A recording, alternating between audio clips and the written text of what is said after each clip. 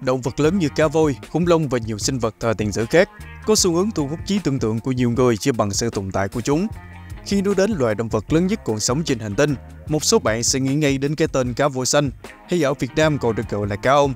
Nhưng thực sự còn khá nhiều loài cá voi khác cũng to lớn không kém mà các bạn đã bỏ qua. Mình đã từng làm một video nói về các loài cá voi thời tiền sử rồi, nên video ngày hôm nay chúng ta sẽ quay trở về thời hiện đại để cùng đến với các loài cá voi có kích thước lớn nhất hành tinh hiện tại. Lưu ý, video này được chúng mình trích dẫn từ Google nên sẽ không tránh khỏi những sai sót. Các bạn có thông tin gì cần góp ý thì đừng ngần ngại để lại bình luận bên dưới để chúng mình khắc phục trong các video sau. Còn bây giờ thì hãy ấn like, subscribe ủng hộ Unjaxa rồi chúng ta cùng đến với những nội dung chính của video ngày hôm nay thôi nào.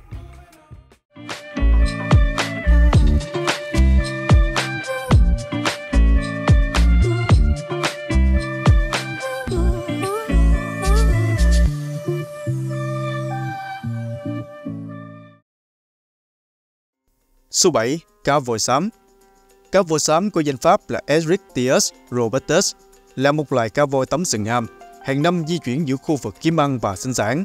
Cá voi xám là loài còn sống duy nhất trong chi Erythias. Chi này lại là chi còn sống duy nhất trong họ Erythidae. Loài động vật có vú này có nguồn gốc từ cá voi ăn lập đồ ăn đã phát triển ở đầu thế Oligocene hơn 30 triệu năm trước.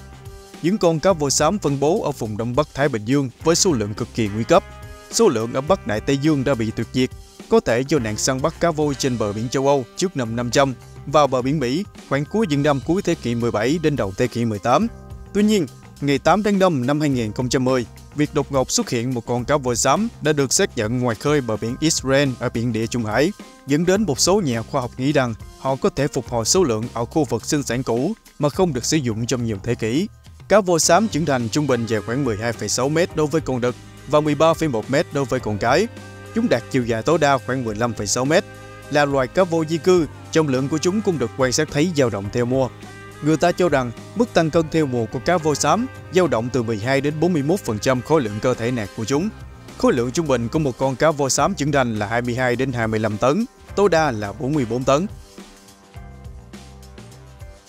Số 6. Cá voi lưng gù Cá voi lưng gù có danh pháp khoa học là Megaptera novianli.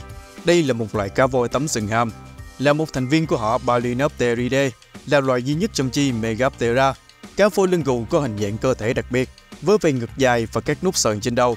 Chúng được biết đến với hành vi khiến chúng trở nên phổ biến với những người xem cá voi. Con được tạo ra âm thanh được gọi là giống như một bài hát, thường kéo dài từ 4 đến 33 phút. Loài này được tìm thấy trong đại dương và biển trên toàn thế giới, Cá voi lưng gù thường di chuyển khoảng cách lên đến 25.000 km mỗi năm. Chúng chỉ ăn ở vùng cực vào mùa hè và di cư đến vùng nước nhiệt đới và cận nhiệt đới để giao phối và sinh sản vào mùa đông. Trong mùa đông, cá voi lưng gù nhịn ăn và tiêu dần số mỡ dự trữ. Chế độ ăn của cá voi lưng gù bao gồm động vật thân mềm và cá. Dù cá voi lưng gù có thể dễ dàng chứa vừa một người trong chiếc miệng khổng lồ dài tới 3 mét, nhưng về mặt khoa học, nó không thể nuốt chửng con người. Cổ họng của cá voi lưng gù lớn bằng nắm tay của con người và chỉ có thể giãn rộng đến 38cm để chứa bữa ăn lớn. Về kích thước của cá voi lưng gù thì với con đực trung bình dài 13m và con cái dài 14m, chúng thường được báo cáo là dài tới 16m, với ít nhất một trường hợp là lên tới 18,6m. Là loài cá voi di cư, trọng lượng của chúng được quan sát thấy dao động theo mùa. Một con cá voi lưng gù dài 16m sẽ nặng khoảng 60 tấn và một mẫu vật dài 18,6m sẽ nặng 93 tấn. Trọng lượng từng phần lớn nhất là 43 tấn đối với một con cá voi cái dài 13,8 m. Có một số nguồn cho rằng có một số cá thể có thể đạt chiều dài lên tới 18,6 m, nhưng vẫn chưa có bằng chứng chứng minh cá voi lưng gù đạt đến kích thước như vậy. Ước tính 16 m có vẻ thực tế hơn nhiều. Số 5.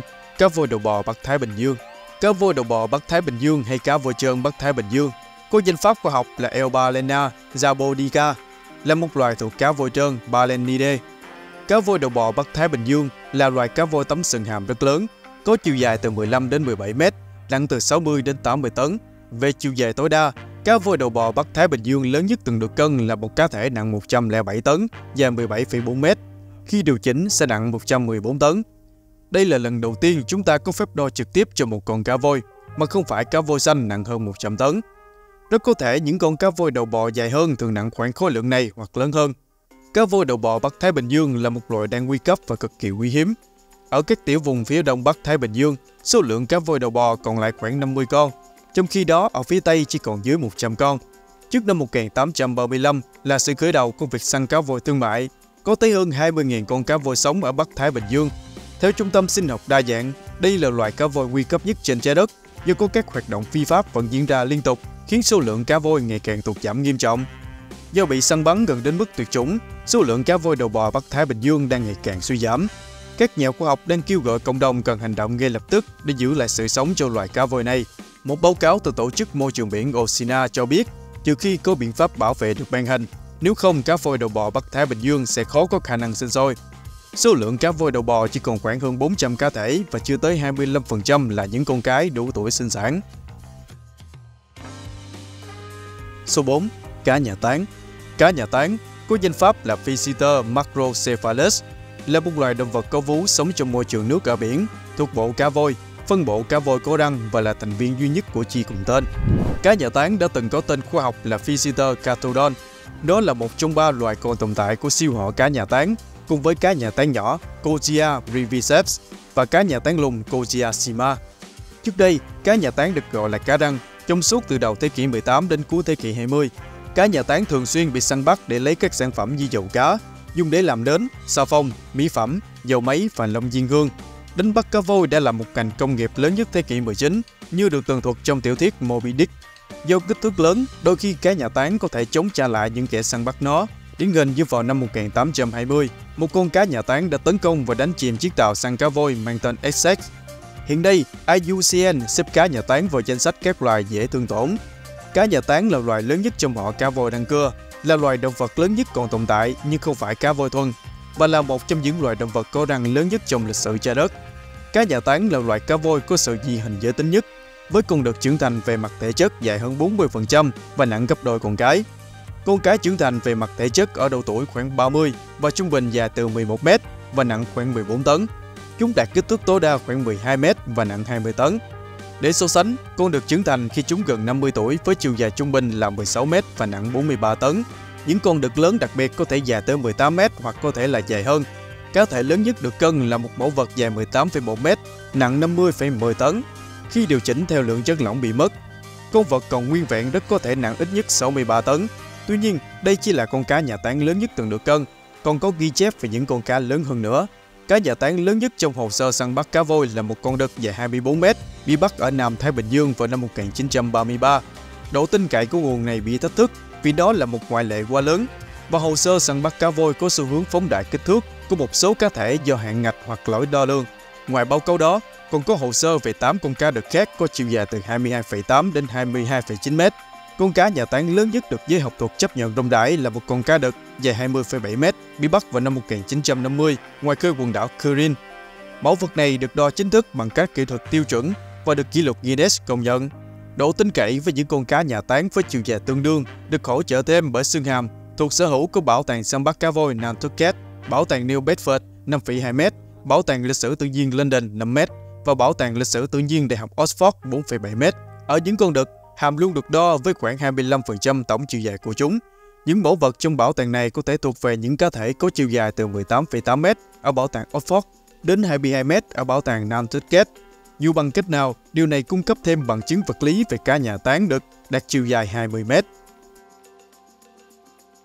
Số 3. Cá voi đầu công Cá voi đầu công có danh pháp là Balina cetus là một loài cá voi tấm sừng thuộc họ Balinidae và là loài đại diện còn sống duy nhất của chi Balina. Đây là loài cá voi tấm sừng duy nhất đặc hữu ở vùng biển Bắc Cực và cận Bắc Cực và được đặt tên theo hộp sọ hình tam giác lớn đặc trưng của nó, mà nó sử dụng để phá vỡ băng Bắc Cực. Các tên gọi thông thường khác của loài này bao gồm cá voi đầu bò Greenland, cá voi Bắc Cực, cá voi Nga. Cá voi đầu công là động vật có vú sống lâu nhất và có miệng lớn nhất trong số các loài động vật. Cá voi đầu công có thân hình to lớn, khỏe mạnh, sẫm màu và cầm trắng. Nó có hộp sọ hình tam giác lớn dùng để phá băng bất Cực để thở. Cá voi đầu công dài nhất được đo được gần 18 mét, nhưng các báo cáo về một số con cá voi dài hơn 20 mét cũng đã từng xuất hiện, từ các lần nhìn thấy vào thế kỷ 19 và các ghi chép đương thời của thợ săn người Inuit. Có rất ít các chuyên gia bác bỏ rằng cá voi đầu công có thể dài hơn 20 mét do thiếu tập dữ liệu đáng tin cậy để so sánh như chúng ta làm với cá nhà tán hoặc cá voi xanh. Theo thuyền trưởng William Scobie Jr., con cá voi đầu công dài nhất mà ông đo được là 17,7 mét, trong khi phép đo dài nhất mà ông từng nghe là 20,4 mét, được đánh bắt tại Gotham, Greenland vào đầu năm 1813. Ông cũng đã đối về một con cá voi được đánh bắt ở gần Spitsbergen vào năm 1800, được cho là dài gần 21,3 mét. Năm 1850, một tàu của Mỹ đã tuyên bố đánh bắt được một cá thể dài 24,54 mét ở Tây Bắc Cực. Những chiều dài được đo này vẫn còn là điều đáng nghi ngờ. Con cá voi dài nhất được đo là một con đực dài 16,2 mét và một con cái dài 18 mét. Cả hai đều được đưa vào bờ ở Alaska. Trung bình cá voi đầu công cái lớn hơn cá voi đầu công đực. Để suy ra khối lượng của cá voi đầu công từng bị đánh bắt trong lịch sử, chúng ta cần chuyển đổi sản lượng dầu của từng cá thể để tính trọng lượng mỡ của chúng. Thể tích dầu cá voi đầu công được đo bằng thùng và cần 193,4 kg mỡ để tạo ra một thùng. Mỡ chiếm khoảng 44% khối lượng của một con cá voi đầu công. Do đó, khoảng 228 thùng dầu sẽ là lượng dự trữ từ một con cá voi đầu công nặng 100 tấn. Hồ sơ về việc cá voi đầu công cung cấp 250 thùng hoặc nhiều hơn đã được ghi chép đầy đủ. Thậm chí còn có một số trường hợp cá thể cung cấp 375 thùng, tương đương với một con vật nặng 164 tấn. Giả sử rằng thể tích cụ thể được đo là chính xác, hồ sơ này cung cấp bằng chứng hỗ trợ cho sự tồn tại của những cá thể dài hơn 20 mét, được các nhà thám hiểm và nhân chứng người Inuit báo cáo. Cá voi đầu công là mục tiêu săn bắt cá voi ban đầu. Quân thể của chúng đã bị suy giảm nghiêm trọng trước khi lệnh tạm dừng vào năm 1966 được thông qua để bảo vệ loài này. Trong số 5 quần thể cá voi đầu công, bao quần thể được liệt kê là nguy cấp, một quần thể là dễ bị tổn thương và một quần thể là rủi ro thấp hơn phụ thuộc vào bảo tồn. Theo sách đỏ IUCN, quần thể toàn cầu được đánh giá là ít quan tâm nhất. Số 2. Cá voi vây Cá voi vây có danh pháp khoa học là Balinoptera physalis, còn được gọi là cá voi lưng xám, là một loài động vật có vú sống ở biển thuộc phân bộ cá voi tấm sừng hàm. Chúng là loài cá voi và loài động vật còn tồn tại lớn thứ hai sau cá voi xanh. Cá voi vây thuộc họ Balinopteridae, cùng họ với cá voi lưng gù và cá voi xanh. Họ này tách ra từ phân bộ Mythic City, tồn tại từ giữa thế Miocene. Giống loài lai giữa cá voi xanh và cá voi vây được cho rằng tồn tại ở Bắc Đại Tây Dương và Bắc Thái Bình Dương. Bằng chứng gần đây về DNA chỉ ra rằng cá voi vây có thể còn có họ hàng gần gũi với cá voi xám và cá voi lưng gù, hai loài cá voi thuộc hai chi khác nhau, cũng như là cá voi mũi nhọn. Nếu các nghiên cứu trong tương lai khẳng định điều này, thì sự phân loại này có thể phải điều chỉnh. Như đã nói thì cá voi vây được cho là loài cá voi lớn thứ hai còn tồn tại, chỉ xếp sau cá voi xanh. Có khoảng 4 phân loài giữa Bắc Đại Tây Dương, Bắc Thái Bình Dương, Nam Cực và phân loài lông. Loài lớn nhất trong số chúng là cá voi vây Nam Cực, trung bình dài từ 21 đến 22 mét khi trưởng thành và tường có thể dài hơn 24 mét. Cá thể cái lớn hơn cá thể đực một chút. Cá thể lớn nhất được xác nhận về mặt khoa học là một con cái dài 25,9 mét, nhưng các báo cáo về mẫu vật dài 27,3 mét thường được trích dẫn từ nhiều nguồn. Ở Bắc Đại Tây Dương, con dài nhất được báo cáo là một con đực 24,4 mét, bắt được ngoài khơi Sydney vào năm 1905 và một con cái dài 25 mét bắt được ngoài khơi Scotland vào khoảng giữa năm 1908 và 1914. Trong khi con dài nhất đo được là ba con đực 20,7m ở ngoài khơi Iceland vào năm 1973 đến 1974 và một con cái dài 22,5m cũng ở ngoài khơi Iceland vào năm 1975. Ở Bắc Thái Bình Dương, con dài nhất được báo cáo là ba con đực dài 22,9m hai con ở ngoài khơi California từ năm 1919 đến năm 1926 và con còn lại đến bắt ngoài khơi Alaska vào năm 1925 và một con cái dài 24,7 mét cũng đến bắt ngoài khơi California, trong khi con dài nhất được đo là một con đực dài 21 mét bắt ở ngoài khơi British Columbia vào năm 1959 và một con cái dài 22,9 mét ở ngoài khơi trung tâm California từ năm 1959 đến năm 1970. Số 1. Cá voi xanh Cá voi xanh có danh pháp khoa học là Balinoptera musculus, hay còn được biết đến với cái tên là cá ông, là một loài cá voi thuộc phân họ cá voi tấm sừng hàm. Cá voi xanh cũng thuộc về họ Balinopteridae. Họ này bao gồm cá voi lưng gù và cá voi vây. Balinopteridae được cho là đã tách ra từ các họ khác của phân bộ cá voi tấm sừng hàm vào giữa thế Oligocene khoảng 28 triệu năm trước. Trước thế kỷ 20, cá voi xanh tồn tại với số lượng cá thể lớn ở hầu hết các đại dương trên thế giới. Nhưng hơn 100 năm qua, chúng bị săn bắt đến mức gần như tuyệt chủng, cho đến khi được bảo vệ bởi luật pháp quốc tế vào năm 1966. Theo một báo cáo vào năm 2002, có sắp xỉ 5.000 đến 12.000 cá thể sống trên toàn thế giới, bao gồm ít nhất 5 nhóm. Trước khi bị săn bắt ráo riết, quần thể cá voi xanh lớn nhất ở vùng biển Nam Cực có khoảng 239.000 cá thể, các quần thể nhỏ hơn khác khoảng 2.000 cá thể, tập trung ở vùng biển Đông Bắc Thái Bình Dương, Nam Cực. Có hai quần thể khác nhau ở Bắc Đại Tây Dương và ít nhất hai quần thể nữa ở Nam Bán Cầu. Năm 2014, số lượng cá voi xanh tại California đã hồi phục đến mức gần như trước thời kỳ săn bắt. Cá voi xanh là loài động vật lớn nhất từng được biết đến còn sống trên trái đất, với kích thước trung bình từ 29,9 đến 33,26 mét và nặng tối đa là 190 tấn. Có nhiều phân loại của sinh vật này, phân loại cá voi xanh lùng và Bắc Ấn Độ là nhỏ nhất, trung bình dài 21 đến 22 mét, tối đa là 24,1 mét. Phân loại cá voi xanh Chile trung bình dài 23,5 mét với chiều dài tối đa là 25,6 mét. Cá voi xanh bắt Bán Cầu trung bình dài từ 22 đến 24 mét với chiều dài tối đa khoảng 27 mét ở Bắc Thái Bình Dương và 28 mét ở Bắc Đại Tây Dương. Lớn nhất là phân loại cá voi xanh Nam Cực, nơi những con trưởng thành có chiều dài trung bình từ 24 đến 26 mét. Giống như cá voi vây thì cá voi xanh đực nhỏ hơn con cái một chút. Con cá voi xanh lớn nhất được giới khoa học đo được là một con cái Nam Cực dài 29,9 mét. Tuy nhiên, các thành viên của cộng đồng khoa học khá công nhận rằng những con cá voi xanh lớn nhất trong lịch sử phát triển quá 30 mét. Điều này chủ yếu là do tính nhất quán của dữ liệu săn bắt cá voi và các nguồn khác. Trong khoảng thời gian từ năm 1916 đến năm 1949, 88 con cá voi xanh dài từ 30 đến 33 mét đã được báo cáo ở Nam Bán Cầu. Con lớn nhất từng được ghi nhận là một con cái bị bắt ngoài khơi Nam Georgia vào năm 1909, có chiều dài là 33,58 mét. Tương tự như cá dạ tán dài 24 mét, tuyên bố này có nhiều nghi ngờ vì nó xuất phát từ hồ sơ săn bắt cá voi trước những năm 1920, nhưng được các tác giả chấp nhận tương đối nhiều hơn. Tuyên bố về cá voi xanh dài 33,58 mét, mặc dù rất lớn nhưng tương đối ít vô lý hơn so với tuyên bố về cá nhà tán.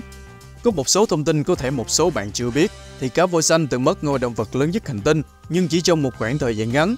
Khi vào tháng 8 năm ngoái, một nhóm nhà cổ sinh vật học thông báo phát hiện xương hóa thạch của loài cá voi cổ đại khổng lồ, có tên là cá voi Berucetus, có thể nặng hơn 200 tấn, biến nó thành động vật nặng nhất từng sống trên trái đất. Nhưng trong nghiên cứu mới, Pienson và Motani xem xét những loài cá voi còn sống, do không thể đưa cá voi xanh còn sống lên bàn cân. Chưa có ai đo chính xác được trọng lượng của nó, Nhóm nghiên cứu đã soát dữ liệu tu tập bởi các tàu đánh bắt cá voi Nhật Bản vào thập niên 1940 và sử dụng thông tin đó làm nền tảng cho ước tính mới. Họ cũng tạo ra mô hình 3D của cá voi xanh, dùng là mô hình của Berucetus. Với cách tiếp cận này, họ ước tính Berucetus nặng 60 đến 70 tấn, ít hơn nhiều so với kết luận trước đó. Họ nói Berucetus vẫn là một phát hiện lớn, dù có kích thước nhỏ hơn kết luận trước.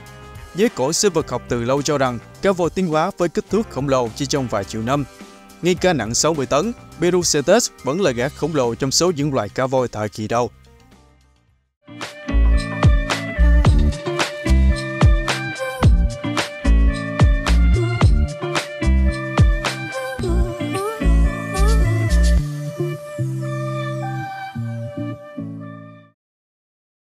Vừa rồi mình và các bạn đã đến với các loài cá voi lớn nhất đại dương hiện đại. Nhưng có một điều rằng số lượng chi này đang ở mức đáng báo động bởi nhiều yếu tố khác nhau và các tổ chức bảo vệ động vật hay các chính phủ các nước vẫn đang cố gắng bảo vệ chúng khỏi nguy cơ tuyệt chủng đang đến gần. Nếu thấy video này hữu ích, hãy để lại một like, subscribe cũng như ấn chuông để không bỏ lỡ những video thú vị khác của Undrexa nhé. Cũng đừng quên ghé xem thăm anh bạn Alop nhà chúng mình nhé. Cảm ơn các bạn rất nhiều. Còn bây giờ thì xin chào và hẹn gặp lại.